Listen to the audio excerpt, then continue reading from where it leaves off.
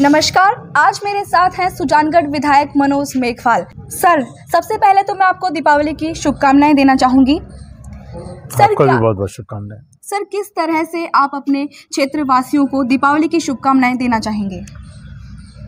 मैं मेरी तरफ़ से पूरे प्रदेशवासियों और मेरे विधानसभा क्षेत्र के सभी को इस दीपावली की बहुत बहुत बधाई और शुभकामनाएँ देता हूँ और ईश्वर से प्रार्थना करता हूँ कि इस दीपावली के बाद में पुनः सुनहरा दौर वापस आए, क्योंकि पिछले डेढ़ साल से कोरोना की वजह से लोगों को काफ़ी तकलीफें हुई, काफ़ी परेशानियाँ हुई है।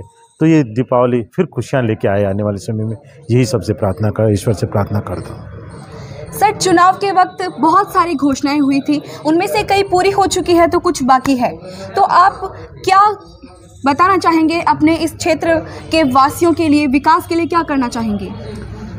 देखिए चुनाव से पहले चुनाव के बाद में भी कई वादे भी थे।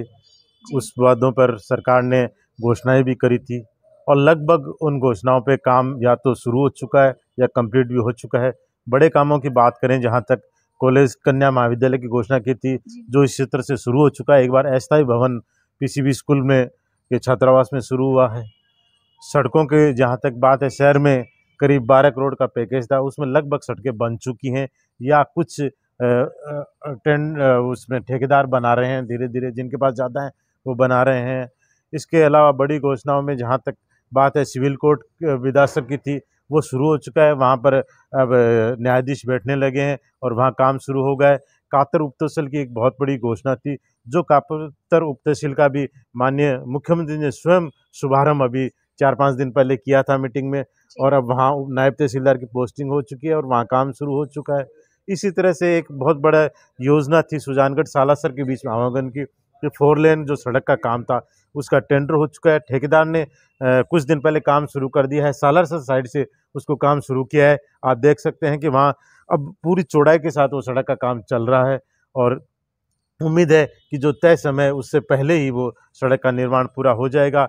इसी तरह से और भी बहुत से स्कूल हैं जिनको क्रमोन्नत किया गया है या जिनको नए विषय संकाय खोले गए हैं, नई स्कूलें खोली गई हैं, आपने देखा ही होगा कि लगातार शिक्षा मंत्री जी हर उसमें सुजानगढ़ के लिए कुछ न कुछ नई स्कूलें आ रहे हैं। कल भी तीन नए स्कूलों को क्रमोन्नत किया गया है।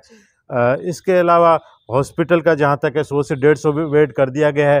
थोड़ी सी जगह की समस्या है, जो आने वाले समय में सुधारनी है कि उसकी कैसे व्यवस्था करें, उसमें हम कार्य कर रहे हैं और लगातार मैं संपर्क में हूँ विभाग से भी कि जो जगह की शॉर्टेज हॉस्पिटल में आ रही है, उसको कैसे सुधारा जाए।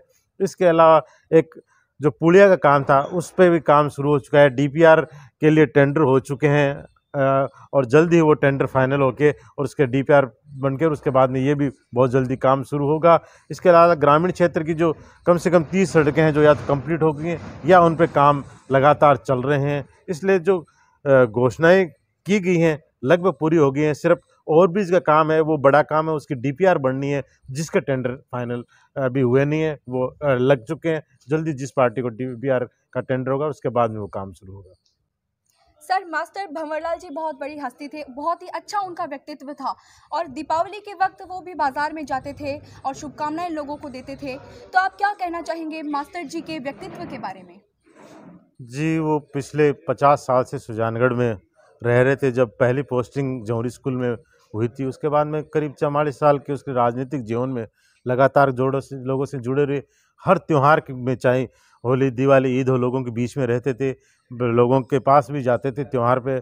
पर शायद पहली दीपावली वो थी कि जिसमें वो लोगों से मिल नहीं पाए थे गए नहीं थे क्योंकि उस समय वो अस्पताल में भर्ती रहे थे गुड़गांव में जब पिछली दीपावली थी। और उसके बाद में हमारे घर में वो पहली दीपावली है उनके निधन के बाद में वैसे तो कोई त्यौहार का ज़्यादा उत्साह है नहीं और और भी थोड़ा शौक है घर में और भी डेथ अभी हुई हुई हैं।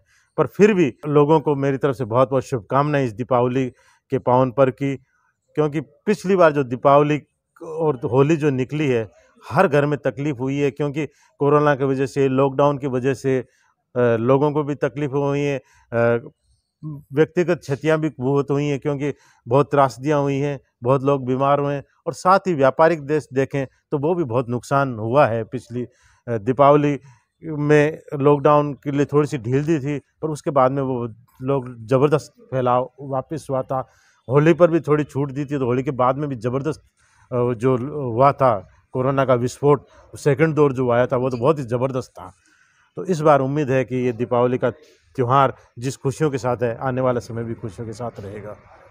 जी sir thank you and happy Deepawali. तो फ्रेंड्स ये था हमारा खास वीडियो सुजानगढ़ विधायक मनोज मेघवाल के साथ। एक बार आप सभी को दीपावली की हार्दिक शुभकामनाएँ। जल्द ही मिल रही हूँ आपसे एक खास वीडियो के साथ। नमस्कार।